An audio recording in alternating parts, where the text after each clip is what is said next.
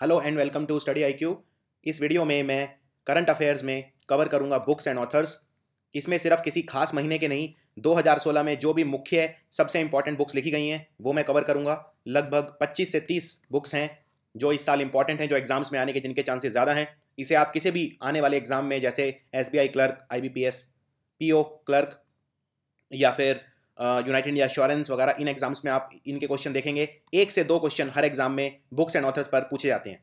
सो so, इसमें मैं जनवरी से लेके और अब तक यानी कि लगभग बारह से तेरह मई तक बिल्कुल लेटेस्ट जो भी इंपॉर्टेंट बुक्स हैं वो सारी कवर करूँगा। सो so, ज़्यादा विलम्ब ना करते हुए मैं शुरू करता हूँ। सबसे पहली बुक इमरान हाशमी की किताब जिसका नाम है द किस ऑफ़ लाइफ तो ये किताब इमरान हाशमी ने लिखी है और इनके साथ मिस्टर बिलाल सिद्दीकी इन दोनों ने मिलकर ये लिखी है। ये कहानी है इमरान हाशमी के दो साल के बच्चे की जो कैंसर जिसको हो गया था, लेकिन इमरान हाशमी के लड़के ने कैंसर को मात दे दी। अयान हाशमी इनका नाम है, इनके लड़के का, और इसी पर इसी पर एक भावनात्मक ये कहानी है, जिसका नाम है द किस ऑफ़ लाइफ। अगली किताब है, a state in denial Pakistan misguided and dangerous crusade. ये किताब लिखी है एक्सपीरियंस्ड पुराने पत्रकार बीजी वर्गीज ने a state in denial Pakistan misguided and dangerous crusade अगली किताब है, ये बहुत ज़्यादा इंपॉर्टेंट है, क्योंकि ये एक बहुत ही महान अंतरिक्ष वैज्ञानिक ने लिखी है, जिनका नाम है स्कॉट कैली ये नासा अमेरिका की ऑर्गेनाइजेशन नासा के साइंटिस्ट हैं और अभी अभी ये लौटे हैं अंतरिक्ष से। 340 दिन लगभग एक साल ये अंतरिक्ष में रहे और इनका गिनीज वर्ल्ड रिकॉर्ड भी इन्होंने बनाया। इनके जो भाई हैं, वो जुड़वा हैं इनके और वो भी एक अंतरिक्ष वैज्ञानिक हैं। सो स्कॉट कैली ने अंतरिक्ष से वापस आने के बाद अपने जो एक्सपीरियंसेस हैं, वो इस किताब के अंदर लिखे हैं, जिसका नाम है endurance my year in space and our journey to Mars यानी मंगल ग्रह पर मेरी यात्रा और मेरा एक साल अंतरिक्ष के अंदर। इस किताब का नाम है एंड्योरेंस बहुत ही ज़्यादा इंपॉर्टेंट क्वेश्चन है ये, और आपसे ये भी पूछा जा सकता है कि नासा के कौन से साइंटिस्ट हैं जिन्होंने 340 दिन स्पेस के अंदर बिताए? तो ये हैं स्कॉट कैली अगली किताब है the making of India the untold story of British enterprises authored by Kartar Lalvani so Kartar Lalvani ने ये किताब लिखी है। ये बहुत कम ऐसी किताबों में से है जिसके अंदर ये बताया गया है कि ब्रिटिशर्स ने भारत में क्या कुछ सकारात्मक चीज़ें भी की। तो इसमें ब्रिटिश एंटरप्राइज ने, जैसे जो रेलवेज़ है रेलवेज़ ब्रिटिशर्स ने बनाया था, इस तरह से बहुत सारे भारत के अंदर इंफ्रास्ट्रक्चर प्रोजेक्ट्स हैं जो ब्रिटिशर्स की देन है। ये कहना मुश्किल होगा कि क्या हम इनको ब्रिटिशर्स के बिना भी बना सकते थे या नहीं, या बनाते तो फिर कब बनाते? या फिर ब्रिटिशर्स के आने से कितना फ़ायदा और कितना नुकसान हुआ, ये कहना मुश्किल है। लेकिन इसमें कुछ सकारात्मक पहलू भी ब्रिटिश राज के, अंग्रेज़ी राज के भारत के अंदर दर्शाए गए हैं। सो ये किताब है the making of India the untold story of British enterprises इनको लिखा है करतार ललवानी ने।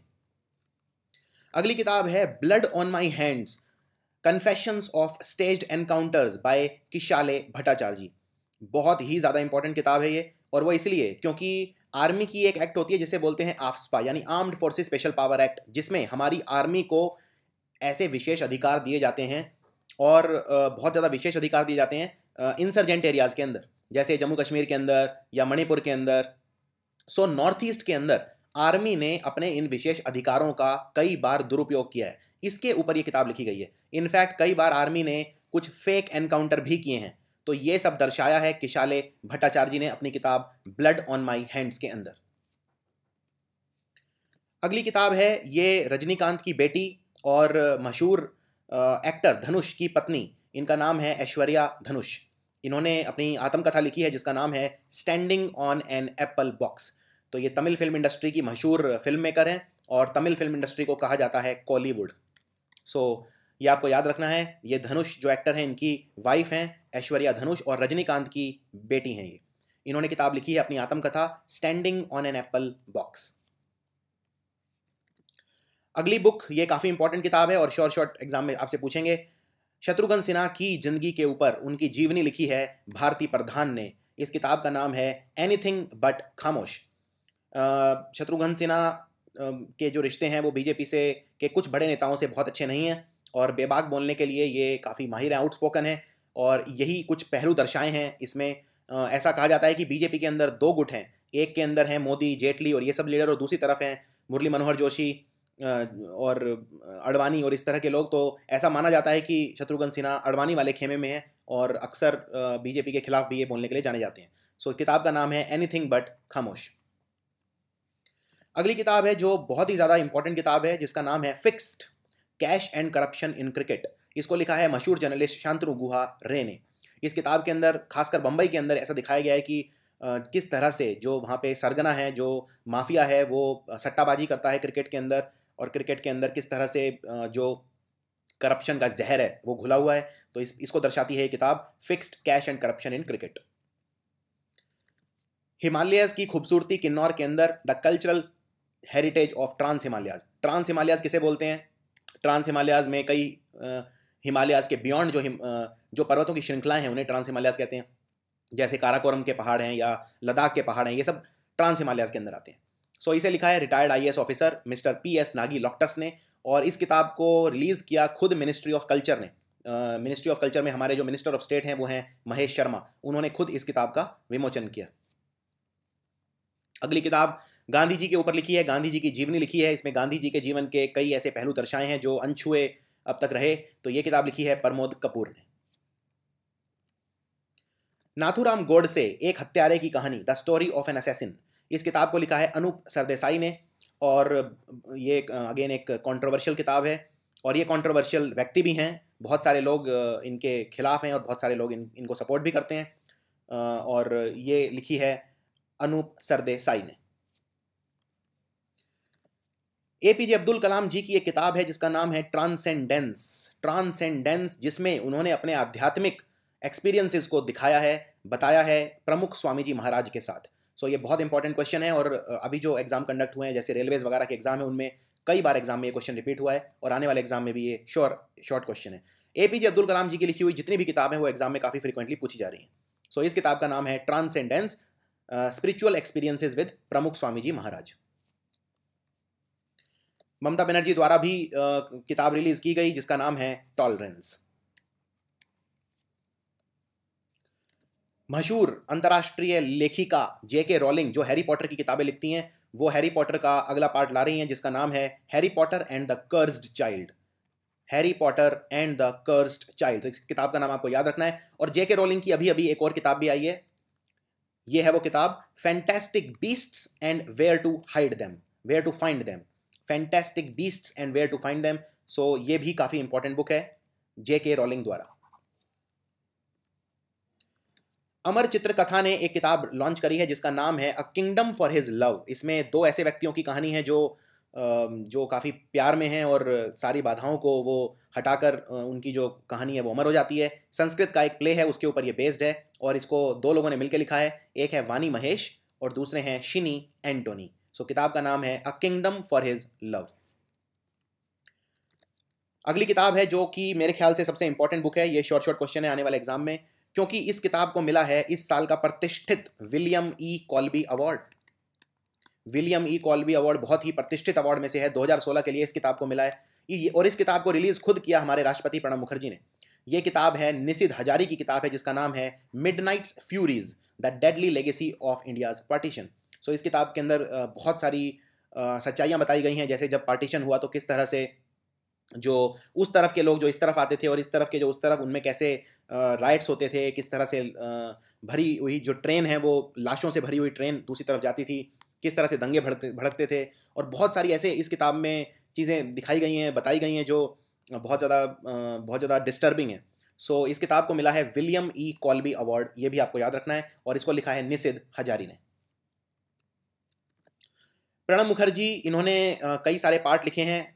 किताब का नाम है द टर्बुलेंट ईयर्स 1980 से लेकर उन्नीस सौ छियानवे तक, और इसका सेकंड एडिशन अभी अभी रिलीज़ हुआ है इस साल। सो किताब का नाम है द टर्बुलेंट ईयर्स, और ये लिखी है भारत के राष्ट्रपति प्रणब मुखर्जी ने।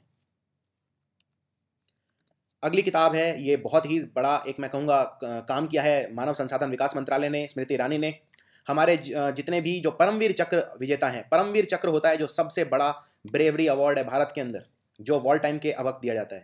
ये आपको याद रखना है कि परमवीर चक्र सिर्फ़ ब्रे, ब्रेवरी अवार्ड है लेकिन ये दिया जाता है सिर्फ़ वॉर टाइम के वक्त। अगर कोई वॉर नहीं है तो ये अवार्ड नहीं दिया जाएगा ये आपको याद रखना है।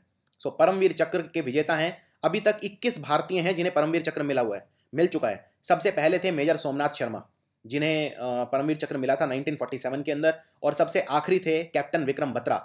कैप्टन विक्रम बत्रा को मिला था कारगिल वॉर के वक्त 1999 में। उसके बाद से अब तक लगभग लगभग 18 साल हो चुके हैं किसी को भी परमवीर चक्र नहीं मिला है। सो परमवीर चक्र के जो विजेता हैं जो हमारे सबसे बहादुर सैनिक हैं उनकी ज़िंदगी के ऊपर ये किताबें लॉन्च करी हैं कॉमिक्स लॉन्च करी है जिनका नाम रखा गया है वीर गाथा। यानी जैसे आप कोई कॉमिक्स पढ़ते हैं जिनमें हीरो होते हैं आ, कोई कॉमिक के जो आइकॉन है जैसे नागराज या सुपर कमांडो ध्रुव या उनकी बजाय इसके अंदर हीरो होंगे हमारे परमवीर चक्र विजेता। तो ये बहुत पैट्रियोटिज्म के लिए किया गया है। और मानव संसाधन विकास मंत्रालय काफ़ी ऐसे कदम उठा रहा है जिससे बच्चों के अंदर पैट्रियोटिज्म का भाव आए। जैसे अभी एक उन्होंने स्कीम भी लॉन्च की है, सीमा दर्शन। तो वो भी बच्चों के अंदर जो राष्ट्रीयता है, जो देशभक्ति है, उसकी भावना को प्रेरित करने के लिए की गई है। एक किताब रिलीज़ हुई है, श्री दुर्गा सप सप्तष्टी के नाम से। और इसको लिखा है डॉक्टर संदीप जोशी ने, इसको कंपाइल किया है। सो जो गॉडेस दुर्गा हैं, उनके ऊपर ये बुक है। इसको खुद रिलीज़ किया, इसका किताब का विमोचन किया प्रधानमंत्री मोदी ने। श्री दुर्गा सप्तष्टि प्रधानमंत्री मोदी ने एक और किताब को लॉन्च किया, जिसका नाम है द जेड फैक्टर तो ये जी टीवी के मालिक हैं, इनका नाम है सुभाष चंद्रा। बहुत मशहूर व्यक्ति, सुभाष चंद्रा। बुक का नाम है the Z factor Jawaharlal Nehru की ज़िंदगी पे एक बुक है, जिसका नाम है Jawaharlal Nehru and the Indian polity in perspective यानी जवाहरलाल नेहरू और भारतीय राजनीति पर एक विचार इस किताब को एडिट किया है पी जे अलेक्जेंडर ने प्रोफेसर अलेक्जेंडर एक गुजराती किताब लॉन्च की खुद प्रधानमंत्री ने, इसका नाम है मारू भारत, सारू भारत यानी कि माई इंडिया, नोबल इंडिया, और इस किताब को लिखा है मशहूर मशहूर जैन गुरु, जिनका नाम है रतन सुंदर सूरी स्वर जी महाराज। रतन सुंदर सूरी स्वर जी महाराज, किताब का नाम है मरु भारत, सरु भारत। एक किताब है, बिल्कुल अभी अभी लॉन्च हुई है, मई के पहले हफ़्ते के अंदर, जिसका नाम है केओस एंड कैलिफेट कैलिफेट बोलते हैं, हिंदी में इसको बोलते हैं खलीफा। खलीफा। तो कैलिफेट ऐसा कहा जाता है कि कैलिफेट जो अपने आप को एस्टेब्लिश कर लेता है, उसका ऑर्डर माना जाता है। सो काफ़ी कंट्रोवर्शियल ये बुक है। और जिहाद के ऊपर ये किताब है, जो मिडल ईस्ट के अंदर, जो वेस्ट के अंदर जो जिहाद चल रहा है, उसके ऊपर ये किताब है और इसको लिखा है मिस्टर पैट्रिक कॉकबर्न ने। सो ये है नाम किताब के ऊपर, जो लेखक का नाम भी है, पैट्रिक कॉकबर्न। सो अभी कुछ ही दिन पहले सिर्फ़ छः या सात दिन पहले एक किताब और लॉन्च हुई है मई के अंदर ही, शशि कपूर की ज़िंदगी पे ये किताब है। शशि कपूर बहुत ही मशहूर एक्टर थे और 2014 के लिए, सन 2015 में इन्हें दादा साहेब फाल्के अवार्ड भी मिला था। और इनकी, इनके जीवन के ऊपर ये किताब लिखी है, असीम छाबड़ा ने। असीम छाबड़ा मशहूर जर्नलिस्ट और शशि कपूर, इस किताब का नाम है Shashi Kapoor, the house holder, the star. The house holder, the star, Shashi Kapoor. और, आखिरी किताब ये है बहुत ही, अगेन, एक कंट्रोवर्शियल किताब है। हुसैन हकानी ने किताब लिखी है, जिन्हें खुद पाकिस्तान से निकाला जा चुका है और कुछ लोग इस पर इन पर देशद्रोह का आरोप भी लगाते हैं। So India versus Pakistan why can't we we just be friend Bharat और पाकिस्तान हम दोस्त क्यों नहीं हो सकते? ये किताब लिखी है हुसैन हकानी ने। सो so, ये थे कुछ बुक्स इंपॉर्टेंट बुक्स जो 2016 में लिखे गए और स्टैटिक जीके के अलावा करंट अफेयर्स में ये क्वेश्चन काफ़ी इंपॉर्टेंट है। स्टैटिक जीके के अंदर भी बुक्स एंड ऑथर्स पर क्वेश्चन आते हैं लेकिन उसमें सिर्फ़ वो क्वेश्चन आते हैं जो जो बहुत ज़्यादा जो फ़ेमस बुक्स हैं उनके क्वेश्चन आते हैं। एक बात और आपको सिर्फ़ बुक्स एंड ऑथर में यहीं तक नहीं रुकना है। आपको ऐसी किताबें भी करनी है, चाहे वो 2015 की ही क्यों ना हो, जो बहुत ज़्यादा इंपॉर्टेंट है। जैसे फॉर एग्जांपल अगर किसी किताब के लिए, जैसे नोबल प्राइज़ मिला लिटरेचर के लिए अलेक्जेंड्रा शायद स्विचलोविच उनका नाम था तो उन्होंने कौन सी किताब लिखी? या मान लीजिए किसी को कोई और बहुत ही मशहूर प्राइज़ मिलता है तो उसको वो किस किताब के लिए मिला? ये सब सवाल काफ़ी पूछे जाते हैं। सो आपको ये भी करने हैं, और बेस्ट सेलर जो बुक होती हैं, जैसे अभी एक लेखिका हैं बहुत मशहूर जो एक्सपायर हो गई जिनका नाम है हार्पर ली। उन्होंने किताब लिखी थी to kill a mockingbird जिसे अपने टाइम में पुलिटजर प्राइज़ मिला था। और बहुत ही मशहूर किताब थी तो उन्होंने अभी जस्ट एक्सपायर होने से पहले एक बुक लिखी थी go set a watchman go set a watchman America की बेस्ट सेलर थी 2015 में। सो so, अगर कोई लेखक या लेखिका उनकी डेथ हो जाती है तो वो ओबिचुरी के अंदर आ जाता है लेकिन वो क्योंकि वो न्यूज़ में आ जाती हैं अपने डेथ की वजह से इसलिए उनकी लिखी हुई किताबें इंपॉर्टेंट हो जाती हैं। सो so, ये सब पहलू आपको पूरे होलिस्टिकली एक कवर करने हैं बुक्स एंड ऑथर्स के अंदर और आई एम श्योर आप इसमें काफ़ी अच्छा करेंगे। सो so, ये वीडियो अपने फ्रेंड के साथ शेयर करना मत भूलना और आपको ये वीडियो कैसा लगा आप कमेंट्स में लिख के बता सकते हैं। Thank you for watching